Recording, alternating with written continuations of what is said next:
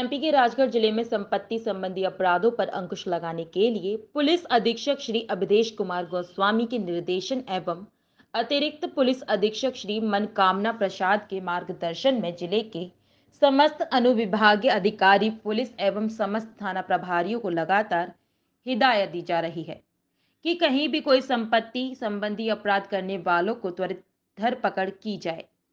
थाना खिलजीपुर में फरियादी संजय सराफ पिता ब्रज मोहन सराफ, उम्र चौवन साल, निवासी, पैलिस रोड, जवाहर चौक खिलचीपुर ने आकर जुबानी रिपोर्ट किया। दरमियानी रात को कोई अज्ञात चोर हमारी तीसरी मंजिल पर बने टावर पर चढ़कर टावर पर लगे लोहे के गेट को तोड़कर दुकान में घुसकर सोने चांदी के आभूषण चोरी कर ले गए। रिपोर्ट पर अपराध क्रमांक 532 2022 धारा चार सौ सत्तावन, तीन सौ अस्सी भादवी का कायम कर विवेचना में लिया गया।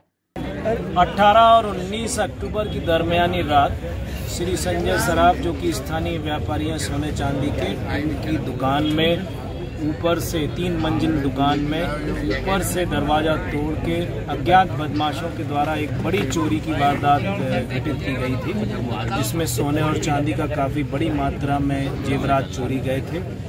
उसको पुलिस के द्वारा अनेक टीम बनाकर उस पर काम किया गया और घटना स्थल के मौके मुआयने से ये स्पष्ट हुआ कि बदमाश स्थानीय है। तब पुलिस के द्वारा अपने इंफॉर्मेशन नेटवर्क से सरप्राइज़ चेकिंग से एक बदमाश को पकड़ा।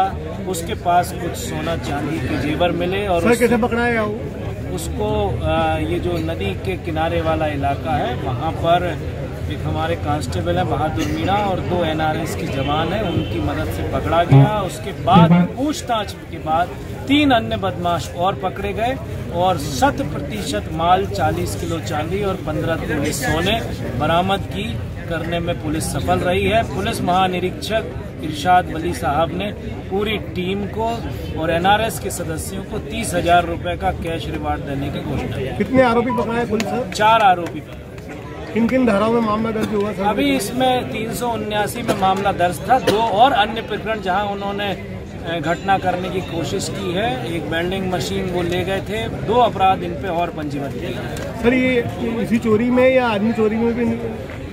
इनका पूछताछ में जो है ये स्पष्ट हुआ है कि ये प्रोफेशनल पेशेवर चोर हैं। इनसे और भी चोरियाँ बरामद होने की संभावना है।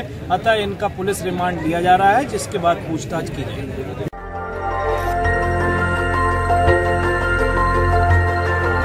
देखते रहिए डीबी भारती समाचार नज़र हर खबर पर।